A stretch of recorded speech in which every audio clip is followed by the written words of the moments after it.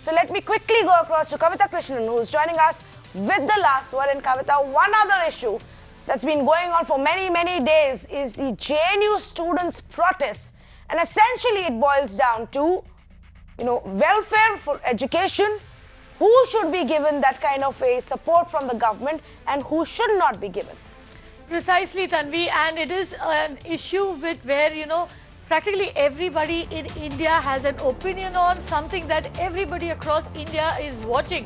Because India has this huge student population, a huge uh, population of youth, and of course, this is something that will impact each and every one of them, and that is a question we are asking our panelists today whether the government should consider a subsidy in quality education and whether that subsidy should be for a few or whether it should be for all.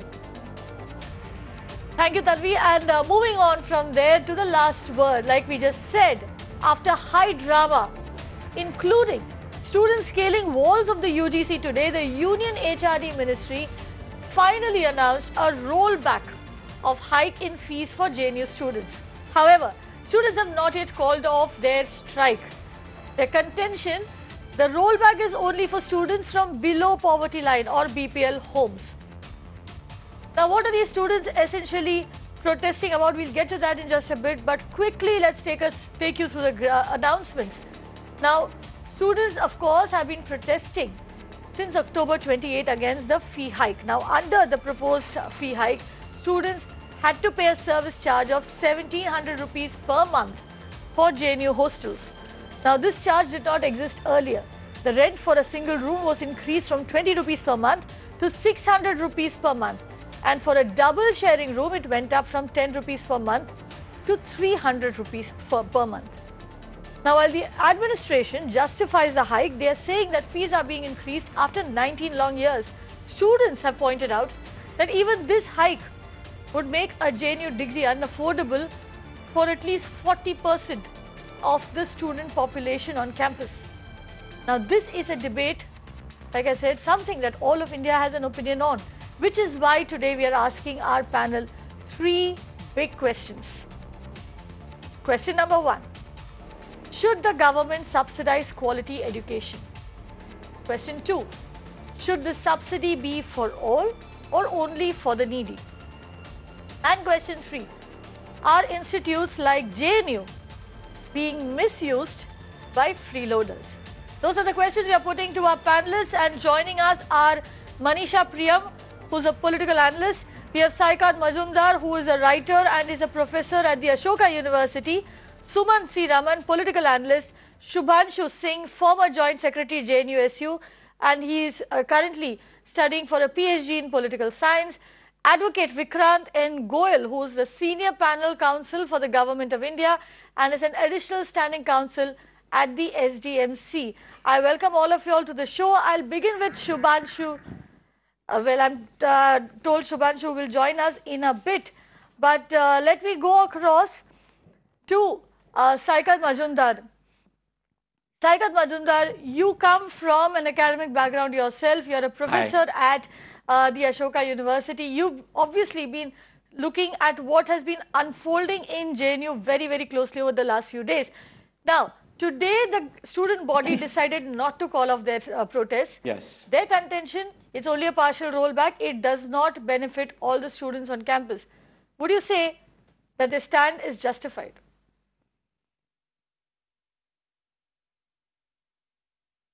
Well, I should first say that, you know, this subsidy concept is a little misleading because uh, what it turns out is that uh, students are already paying a significant amount towards their housing expenses and that is happening through their junior research fellowships.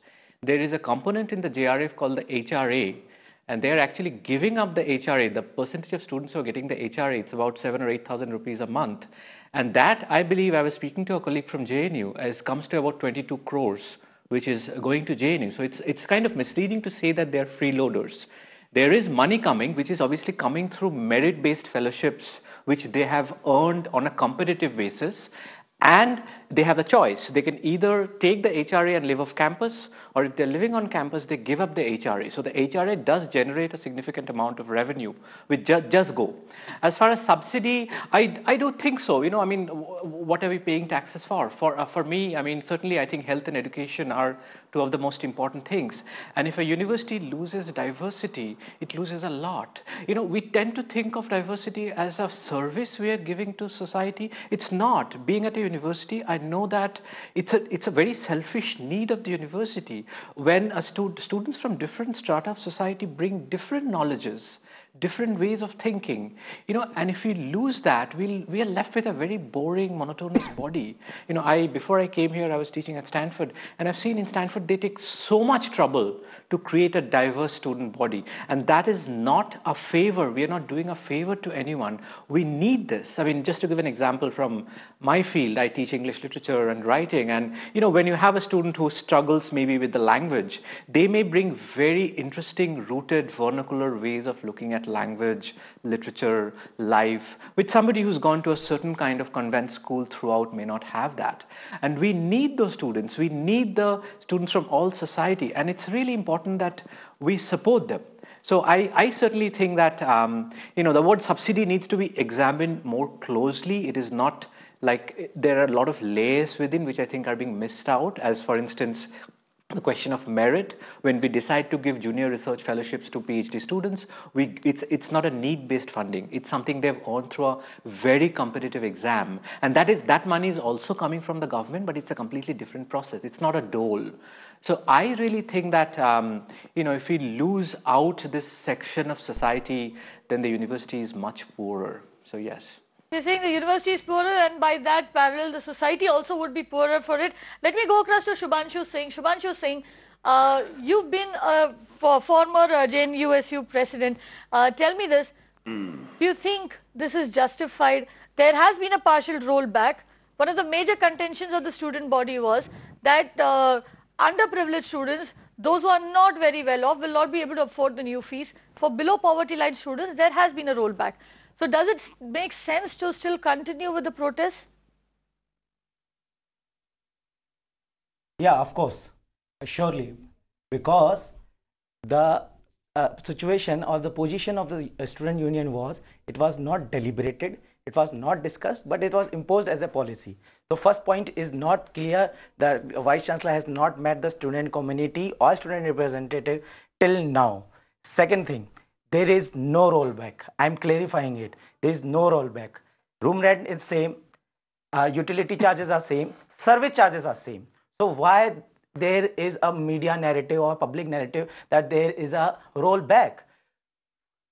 Of course, there is a relaxation of 50% to the BPL people, BPL uh, uh, people or BP, students who are belonging to the BPL category. But the point we were making at large from 20 days, there are many students 40% of the student enroll in the university which cannot afford the existing fee hike. So that point is there.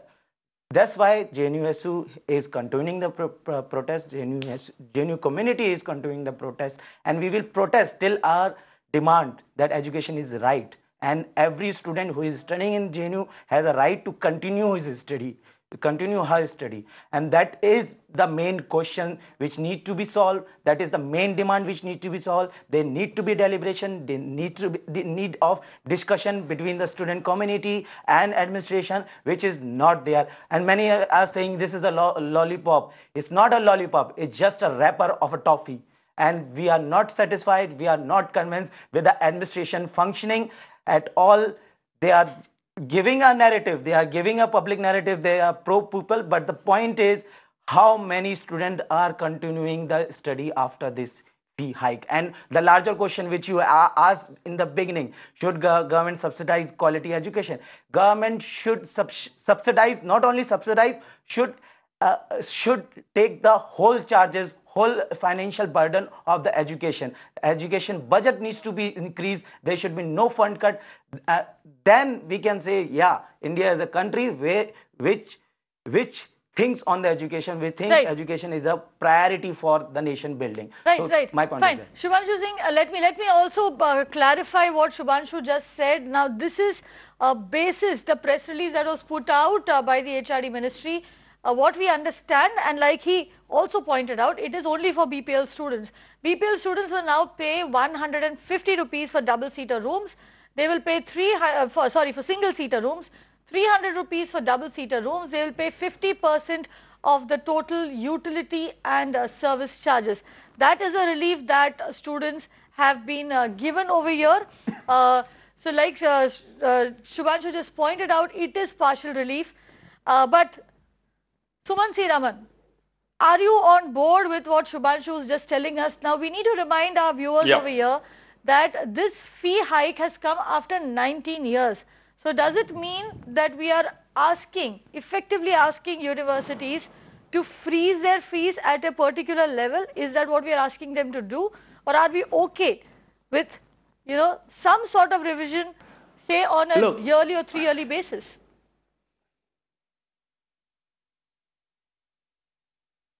Look, uh, the, the issue is very simple. I entirely agree that students from diverse backgrounds must be encouraged to participate in the education system and they should be given every opportunity to do so. Every level of support in terms of financial support must be given. I don't think there's anybody in this debate who will have a contrary view on that.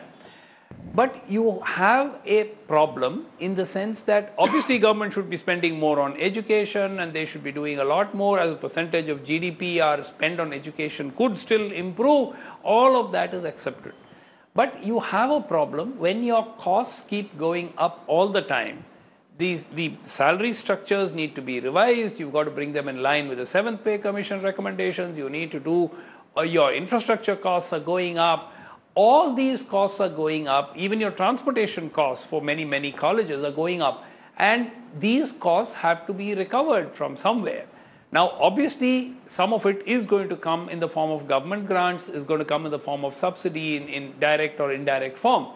But at the end of the day you have to make ends meet. And even if you are a government institution, you cannot have, I mean, this entire debate that we are having today is because it's JNU. This could have been a college in Bihar or it could have been a college in uh, somewhere in Rajasthan or Karnataka. I'm sure this debate would not have been held, even if they had been on strike for uh, six months together. The most important thing is that if there is subsidy, it needs to be targeted. You can't have a system where you know everybody is going to get everything at at uh, the, the the fee that they were paying in 1980 or 1985. Now the problem, and this is a problem not just in the education sector; it runs across sectors. You take the electricity sector, you take the transportation sector prices or, or the, or the um, costs keep rising all the time. The fares or the revenue is not raised every year. That is why there has been a proposal, and some states have slowly started to adopt this. They now index it to inflation and say this year inflation was around 3%, so we're going to be having a 3% hike across the board. Now, when you do have regular small incremental increases, the pain is not felt so much. Now, if they had kept increasing the rates by 3%, 4% a year, over 10 years, it may still have been, you know, maybe about 50, 60%, but that would not have been felt as to be a sudden abrupt increase. The problem comes when you allow something to drift like this for 19 years and 20 years, when your cost, compare the wage bill of 19 years ago with the wage bill of today. So the problem is with governance across the board, and that is the reason why you have this. Simple solution index it to inflation, have a regular increase every year by a very small amount, and this problem will get solved.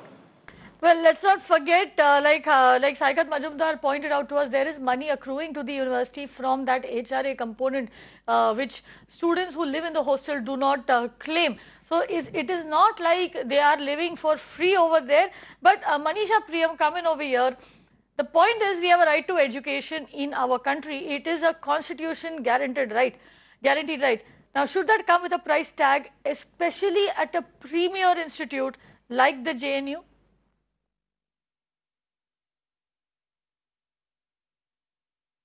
Now, uh, there are a couple of things that I would like to say. Uh, first of all, the right to education as it exists uh, really covers only the school stages of education, whereas what has happened is that with the increased enrollment in school education in the 1990s and especially from about 2005 onwards, when most Indian states, even those called the Bimaru states, have had a good bumper school enrollment, we now have a situation when there are far too many seekers from the underprivileged sections at the doorsteps of the university. And that generation, I think that's a tribute to the Indian state that so many children from underprivileged backgrounds are now at the doorsteps of some of the finest public universities that we have built in India. Now, now comes the cost question. Now, the fact is that the previous speaker, Sumant uh, Srivaraman, he did not understand that academic costing is not about chartered accountancy. Academic costing, for example, also needs to see things like that these children, for example, many of them may be just above the BPL line, and the BPL line is so narrow that a student just above it also may not be able to afford the cost of a higher education. Now, these students need to be given opportunities to work. Can somebody tell me what are the opportunities of earn while you learn for JNU students or any other public university students? None whatsoever. So, these students go through the rigmarole of competing in JRF, which is a very, very important competitive national exam and has actually enough money for students to be able to see through. So, that the first speaker, as he rightly pointed out, that's a very important competitive exam that our students at the JNU or anywhere else in the public universities go through. That is one way of looking at the cost. The other way is that, for example, has anybody even brought up the issue that why do students need to give non-refundable money to a mess? They needn't be, that's like building up a capital they should be able to, you know, even five and a half thousand rupees, for example, uh, is too much money to be kept in a mess coffer. What is it? You know, the mess, ha mess has steel utensils and food which is a perishable. Why should students be giving capital uh, which can be kept by the mess as some kind of a thing which will be returned back to them. Now, as far as the room rents is concerned, yes, truly there can be an increase or escalation, but students who are giving it from their HRA or those who are from the BPL backgrounds clearly this money will be deducted from there. So one of the things that has to be done is that the JNU administration needs to sit down with its own students, understand where the issues are and things should not, you know, ultimately students and the teaching community and the administration together make a university. If the students are saying that they have not been put at the deliberation table, that is something that must be done immediately. Talking to students who are hierarchically in the junior chain of things, they are not in a powerful position. This does not change anything. The academia is all about bridging hierarchies, talking to students, convincing them that some of these costs might need to escalate. And further than that, providing students with decent opportunities of work while they are in their higher stages of learning, those may be the solutions. Simply saying cost is escalating and the student should fulfill that cost. Nowhere in the world, let me tell you, even the United States, the higher education has been built by large scale federal grants that have come out of the central government. Not only that, there are large scale funding mechanisms such as the National Science Foundation, etc. Even the United States understands that higher One education second, cannot one pay for One itself. second, Suman- so Suman there Sriram, are let her costs, finish, let but her there are finish her costs in education which are different from what happens in the economy. Right. So, Uh, so costs are costs of education are different from any method of No, you know no. uh, uh, just thinking financial accounting will resolve this problem. Governance of a university is not about financial accounting; it's about costs in education, and that needs to be understood very clearly right now. Right, uh, Sumanth C Raman, I'll let you. I'll let you quickly make a point, and then I have to bring in uh, the uh, bring Sorry. in uh, Vikrant no, I mean, Goyal. I- He's been I- waiting by Yeah, patiently. yeah, yeah. Two, two, two, two very quick, two very quick points.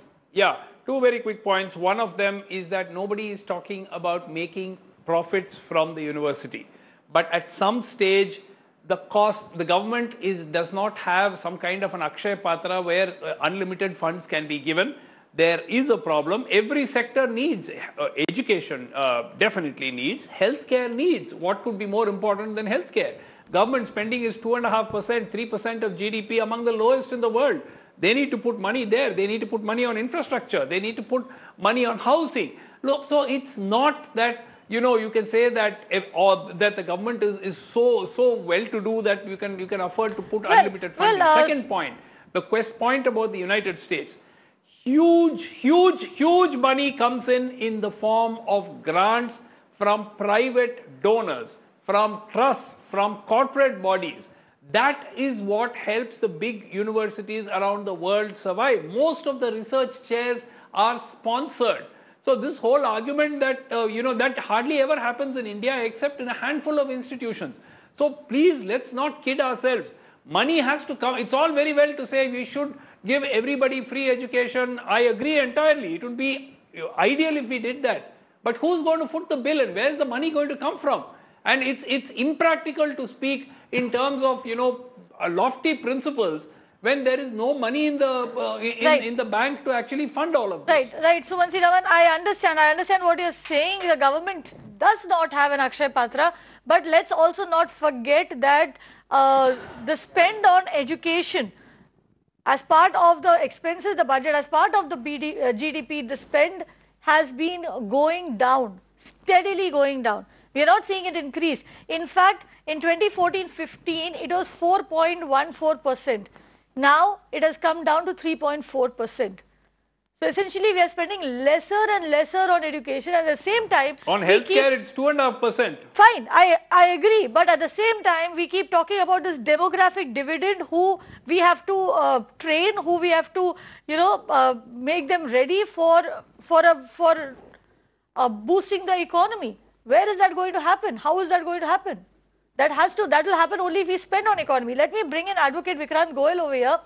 Advocate Goel, now the big the the big question that we are asking, of course, is Yes. that whether quality education, and I'm being very clear over here, quality education that too in central universities, should this be subsidized?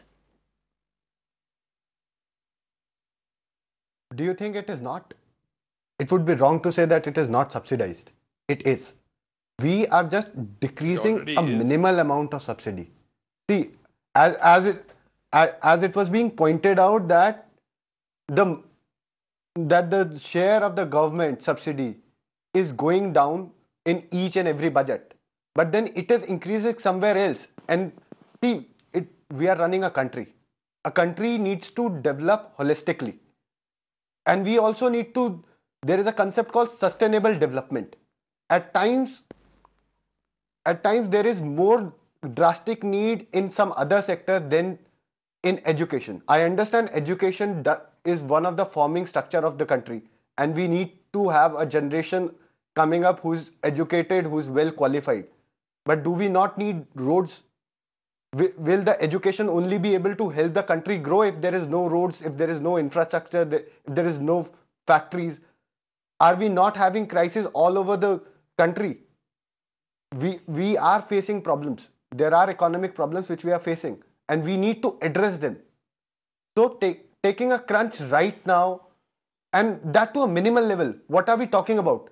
150 rupees a month.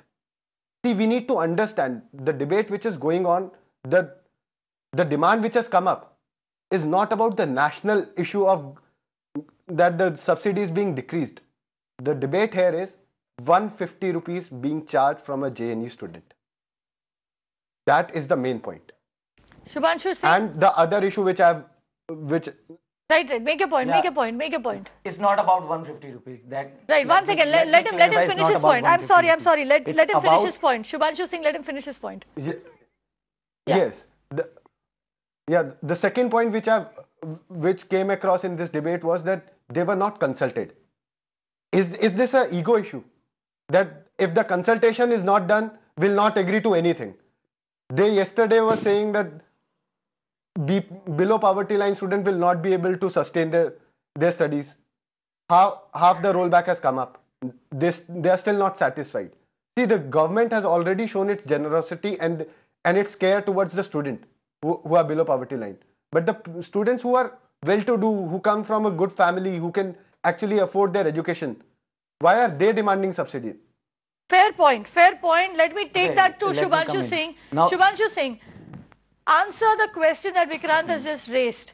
The fact that now we know that there are a lot of students from poor backgrounds, from economically weaker backgrounds in JNU. But there also are students from extremely well-to-do backgrounds. Now, shouldn't they be paying for their board and tuition? Now, I have just two points to reply to the two sharp question. First is 150 rupees. It's not about 150 rupees. You have to give a increment of 999% fee hike. Now, wh where this is coming from? From the service charges, from the utility charges, and it will amounts to 10,000 per month. The fellowship you get in MPhil is 5,000 rupees. Where the lack, where the deficit, which is of, of 5,000, will come from. And for the MCM, MCM is the merit cum uh, means uh, scholarship, which is especially for the JNU student, which is given to the uh, poor peoples, is 2,000 rupees. Where the 8,000 rupees, 8,000 rupees, a deficit of 8,000 rupees will come from. That is the first. And second point about the deliberation. It's not about the ego issue. It's about how a university function, how a country function is on the basic democratic principle. It needs to be deliberated with every stakeholders in the university or in nation. Every decision making uh, uh, process needs to take care of all stakeholders' interests. No one can impose one policy over other this is the democratic principle. Now, it's not about ego issue, it's about democratic decision making. Please call the student, please take their take their inputs, their their issues, their if uh, that gentleman is saying about the uh, uh, uh inflation and uh, price rise. So why the fellowship has not been increased for so many years for the student who are having higher education in different universities. It's not about JNU. It's about every other in university uh, which ha are having financial assistance from the government.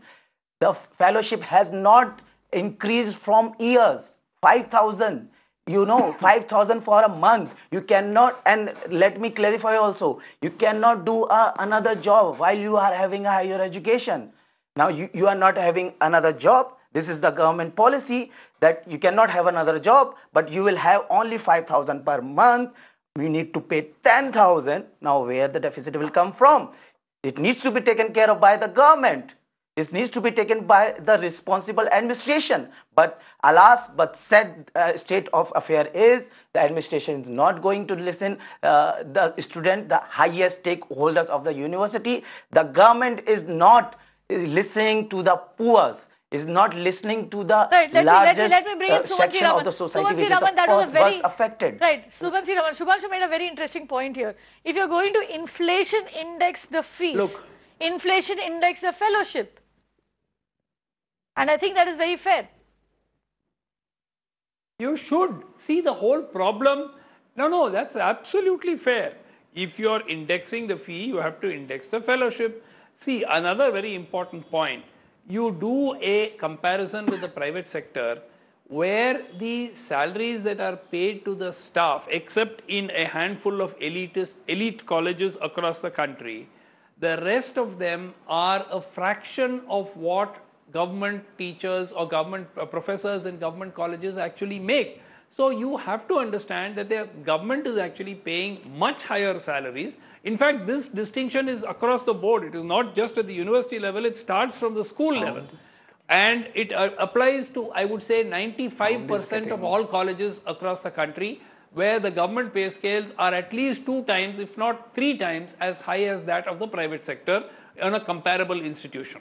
Second, so if you are going to pay high salaries and you're charging a fraction of the fee, the money is, the government is already subsidizing. Where do you think, for instance, the fact that 10 crores was being paid? Now, whatever name you call it, it is a subsidy.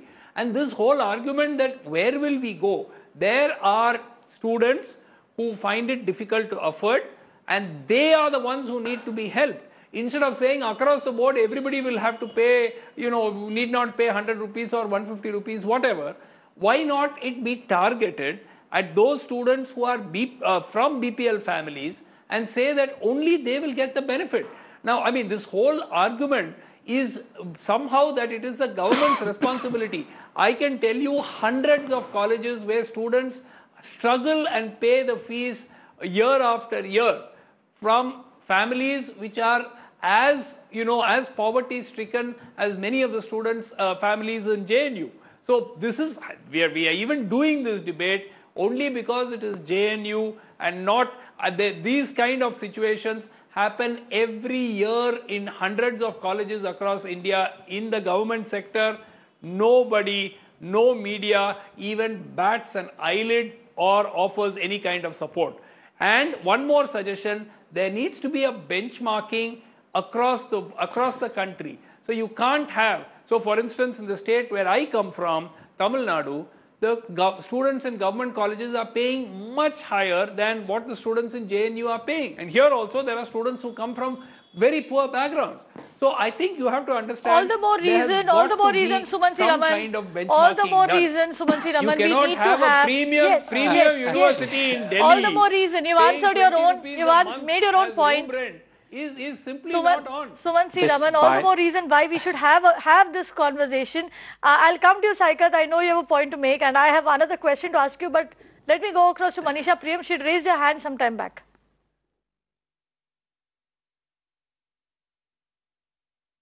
No, no. I think the whole argument that Sumanth is making is completely misplaced. He is not even hearing the nuances. I was not even arguing for free education. I am simply saying that the elements of costing of higher education especially are very different from what he thinks. Now if you see he's arguing very persuasively, but now he's arguing that Delhi has different standards than his Tamil Nadu. It is for Tamil Nadu to amend and correct. The fact of the matter is that costing in higher education has to be seen in terms of the nuances of higher education. What are the nuances here? Just as the student uh, representative on your channel has rightly said, there are other costs hidden. It's not about the room cost being raised from 10 to 150 or 300.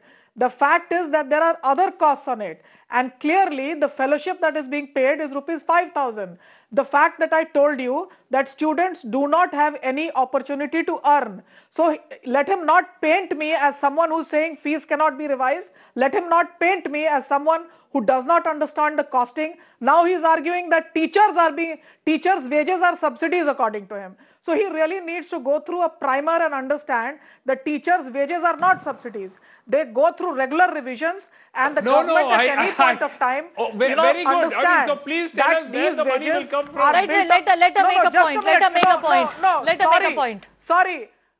No, no, no, just a minute. No, Sumanth, Sumanth, uh, I waited for whatever you said. Fact of the matter is, we are not saying that higher education cannot be charged on cost. It can be. But what are the elements of that cost? We differ from you. We also also believe that students need to be taken on the deliberation table. We also believe that you need to understand the 5000 rupee issue that he is telling you. He is telling you that clearly the scholarship is not enough to be able to pay the fees in toto. And he is also telling you that there are no opportunities for work. So clearly, there is a clear room for dialogue and negotiation here. And no wages, etc., you know, no charges for, for them. We are not asking for that. We are simply saying that you give students a fair chance to represent their point of view.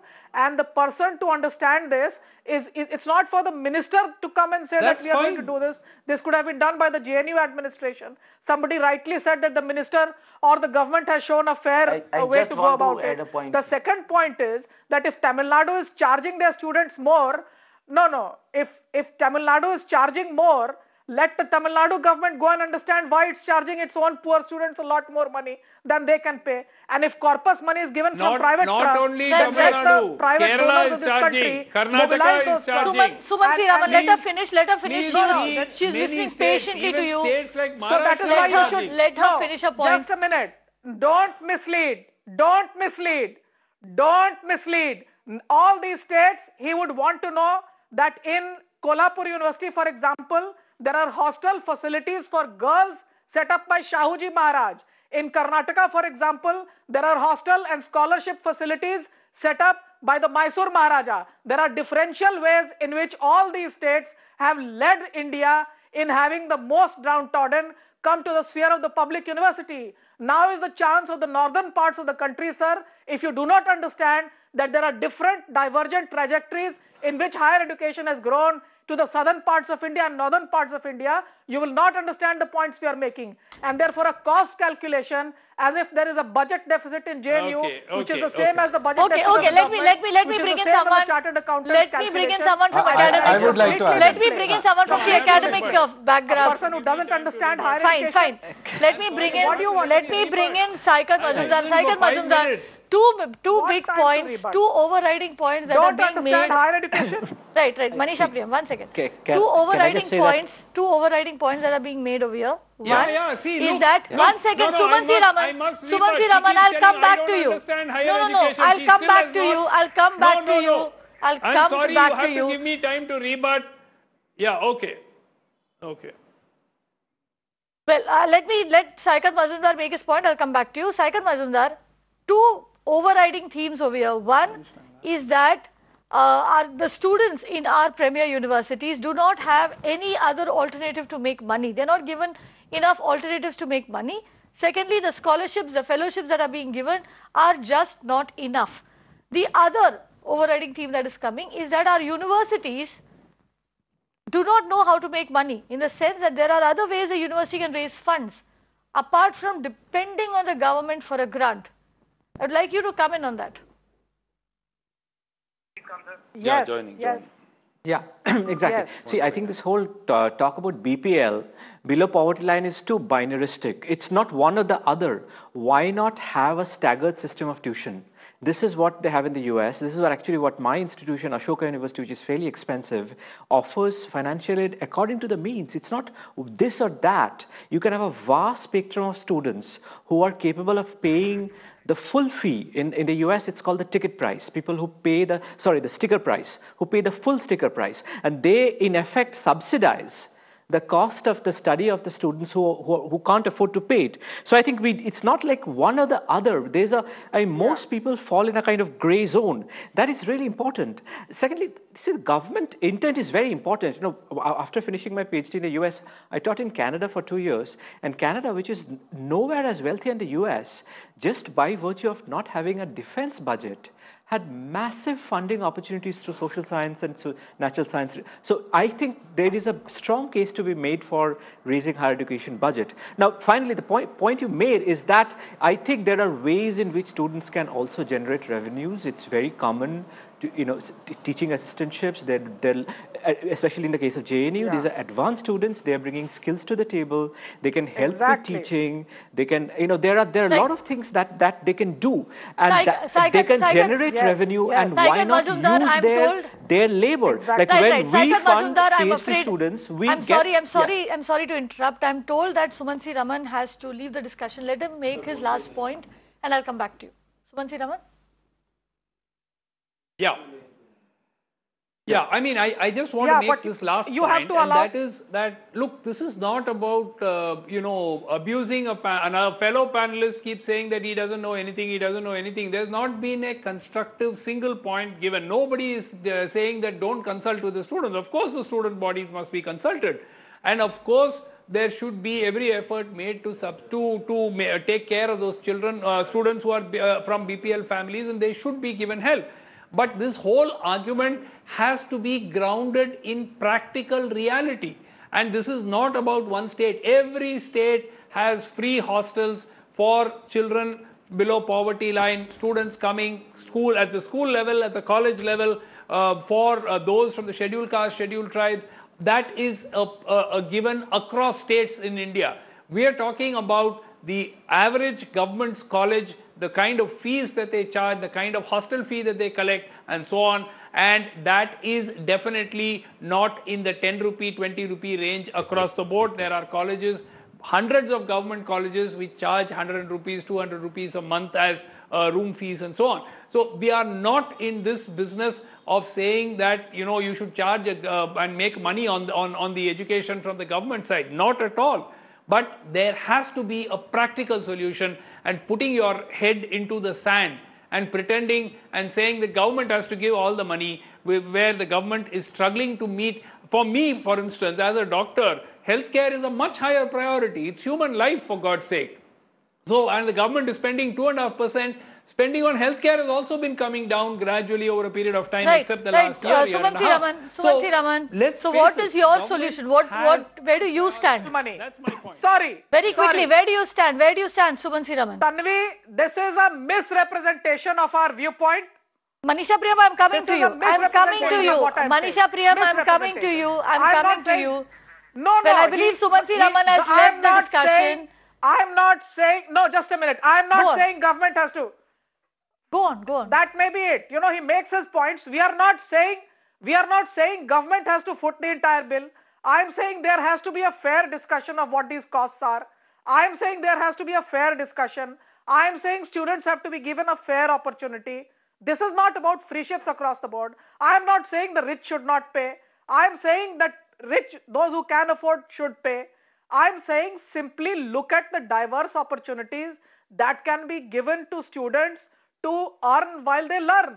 This is not about subsidizing and this is not about asking government to foot all bills. It is clearly not that. The institution also needs to think. But besides that, when people like Sri Sumanth C. Raman come here, let them also go to these big corporates and tell them that sir, this is these are our public universities. Please donate to big corpus funds. What do we have in India? We don't have donors who want to give to the corpus funds. They only want to set up their institutions. Unlike in the US, we keep parading US examples. I can tell you endlessly that the US higher education sector is built as much on federal grants, which are government grants, as it is on corpus, corpus built from the corporates. But that corpus comes by way of a philanthropic nature. It doesn't have its own stamp. It, it doesn't have its own prim- imprimatur. So the fact of the matter is that not only does the government need to lead by example state and on the Right, funding right, side, right. Point taken, point taken. Let me bring in Saikat in Majumdar. Let me bring in Saikat But Majumdar. He was the- making a point, yeah. Manisha Priyam, and which is very similar to what you were saying. In fact, Saikat, uh, do you also believe that quality education should be subsidized but only for the needy? And do you believe that universities should look at other avenues of raising funds and not just be dependent on the government? I, I certainly think so. And again, I think we keep thinking of the subsidy question as a kind of yes or no, like they're poor students and they're rich students. It's not like that. Most students come from a range of spectrum. You know, for a lot of middle class students who uh, don't qualify for enough, what happens to them? So I think we need to really customize funding. And in the same way, and that will cover a whole spectrum. And you know, this whole uh, thing about, I think we definitely need more public-private collaboration. I think one thing we sorely lack is a culture of, um, you know, sort of corporate philanthropy, which is why I think it's admirable that institutions like Ashoka and Krea have come up and they have actually created, these are non-profit philanthropic ventures. They are, Right. they are putting purpose. And this is such a, you know, I, I, my former university, Stanford, has, a, has an endowment of $29 billion. And this is, this is the corpus. But mind you, the research, the research is actually funded by NSF and NIH. The research is not funded by the corpus. That there's a difference. And state universities actually have a lower tuition, but the tuition has been progressively going up. They're accountable to their legislatures. So it's a very complex system. There are multiple stakeholders, multiple partners who come to make this work. And I do think we need to get more partners at work here. I mean, government has been pulling the burden on, on all on itself. On the other hand, the budgets, the government budgets have been going down. So the, clearly the pie is getting shorter and shorter. I fully agree. Like, look at the IITs. IITs are government institutions, but they, the alumni have done a great job of creating some robust funds. You know, they have done it. I think, and that that, that kind of private Exactly. part public partnership is quite possible. And finally, you know, when it comes to advanced students, they can provide services which can add to the university's revenue. So there are multiple ways we can address this problem. I fully Precisely. agree that this is not a dole. The pie is not endless. But I think some clever Right. We need some clever So, money I think it management can be done. I mean, like, it's possible. There has to be will on the government's part. Shubhanshu, would you would you would you agree that uh, that you know there should be some form of subsidy, but then that subsidy needs to be targeted? Is that something that you would agree with? I don't think so. Subsidy should be targeted to the one section of the student only. Subsidy should be targeted to the all student who want to study. Higher education in itself a challenge in our country. Where people need to convince the parents, where people need to convince the society why higher education is important in, a, in our nation, how we are going to contribute to the nation building. Now, at that point, when the societal pressure is there, peer pressure is there, somebody is saying in South Delhi, you are paying only 300 rupees. South Delhi property tax or property rate will not be applicable to the university. University is the not real estate agency or real estate industry. is a education hub, is an education institute which which is responsible for imparting uh, education to whole of the nation, to whole of the society, to whoever who wants to uh, study higher education, who wants to teach the another uh, generation, who wants to challenge the existing knowledge system of the society. So whose responsibility is it? So government should take up uh, education as a priority in budget allocation also there is no dearth of money uh, in government uh, banks in, in government uh, profits exactly. but but the point where, where the lack of funds is extracted from. It's not from the student, it should be from government. If there is education cess of 2%, where is it going?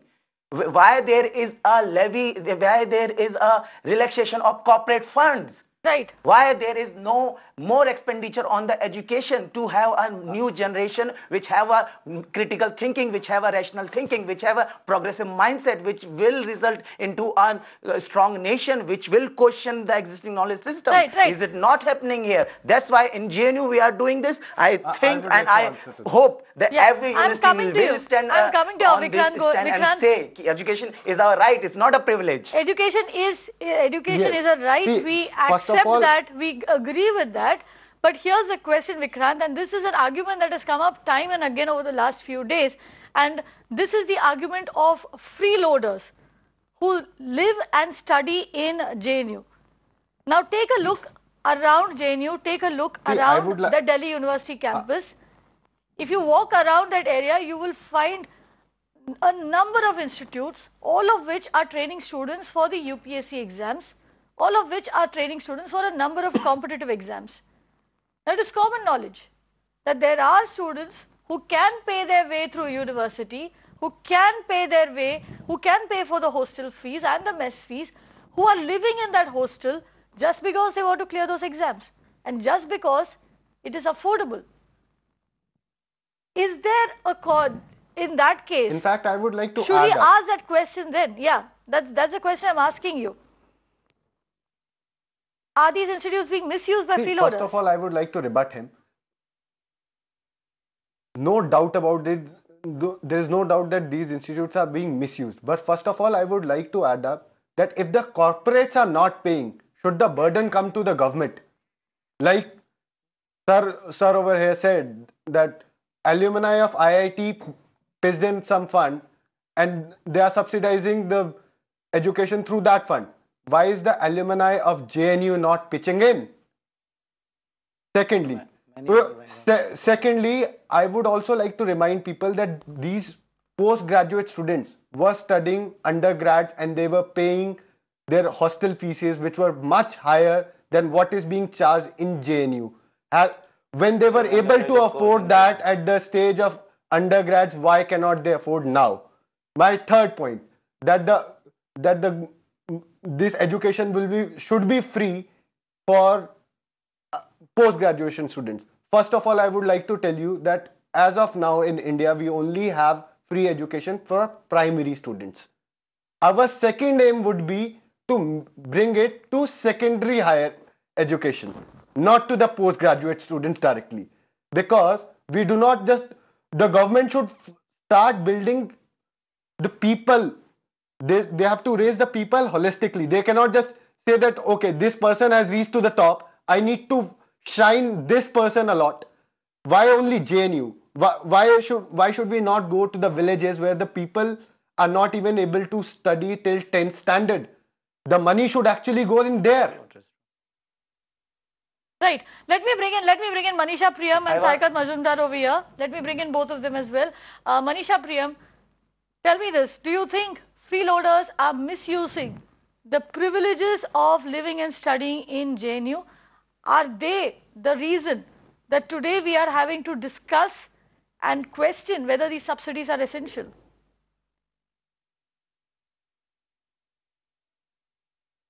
So if there are freeloaders, even under existing rules, if people are not, you know, taking your MPhil exams on time, not submitting the assignments on time, and you discover they are freeloaders under the existing rules, you can clearly crack the whip on them. I mean, nobody can argue this case that you use the JNU premises for purposes other than higher education that you've been admitted for. And if those rules are not sufficient to throw out the freeloaders, clearly the administration, I mean, hiking fees is not a way of getting the freeloaders out.